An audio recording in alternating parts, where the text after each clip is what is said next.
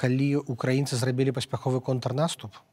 і вызвалілі частку рэгіёну там у тым ліку луганшчыны і па іншых абласцях прайшлі якая была рэакцыя ўнутры сістэмы істэрыка прапаганды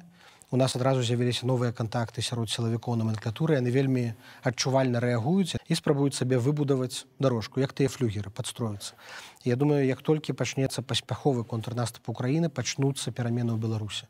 Перамога ўкраіны як працэс яна будзе звязаная з пераменамі ў беларусі я вельмі сумнеюся што украіна будзе перамагаць заходзіць у крым а ў беларусі будзе ціха спакойна